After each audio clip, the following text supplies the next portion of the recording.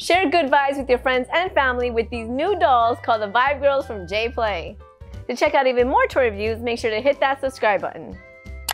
There are six dolls for kids to collect, and each 8-inch articulated doll has its own vibe for kids to aspire or relate to. Emma, who is all about kindness, Allison, who's got that animal vibe, Mia, all about the ocean, Sophia doing her thing with happiness, Luna, the artistic chick, and Jamie giving the nature vibes. They come with stickers featuring messaging like cool to be kind and I can and I will, plus accessories to match their vibe, a share good vibe diary, and a color changing vibe ring. These are geared for kids 6 and up. Which doll speaks to you? Let me know in the comments below. My pros, there are different dolls to collect, there's tons of accessories, and there's tons of articulation. As for cons, there are none.